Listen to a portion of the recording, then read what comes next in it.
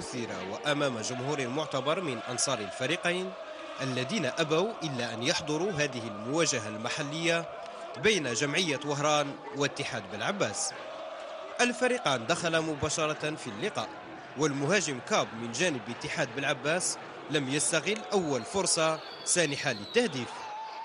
ليرد عليه شعيب بهذه المخالفة وكرته مباشرة في أحضان الحارس مويات ثم حمزاوي يجرب حظه من بعيد وتسديدته لم تشكل خطرا على مرمى الحارس ميزاير. خطورة الجمعية كانت دائما عن طريق الكرة الثابتة. شوتي يسدد وكرته في الشباك الخارجية. وفي الدقائق الأخيرة من عمر الشوط الأول ارتفع نسق اللعب من الجانبين. وكادت الجمعية أن تفتتح مجال التهديف بعد كرة جميلة في العمق.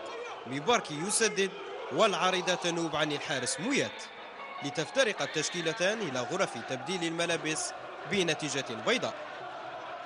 المرحلة الثانية دخل فيها عناصر الجمعية باندفاع كبير نحو الأمام وشنوا عدة حملات هجومية على مرمى المنافس وأهدروا عدة فرص سانحة للتهديف لغياب الفعالية أمام المرمى.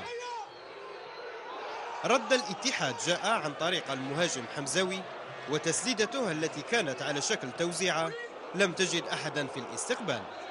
وفي الدقيقة الثامنة والستين الحكم يشهر البطاقة الحمراء في وجه اللاعب البديل لجمعية وهران أمامار خمس دقائق بعد هذا الحكم بهلول أعلن عن ضربة جزاء إثر هذه اللقطة التي تشاهدون.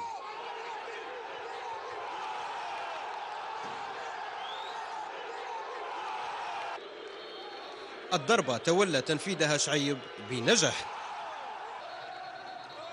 بعد هذا أصيب مدرب اتحاد بالعباس بجروح طفيفة ونتأسف لمثل هذه الصور التي تحدث في ملاعبنا.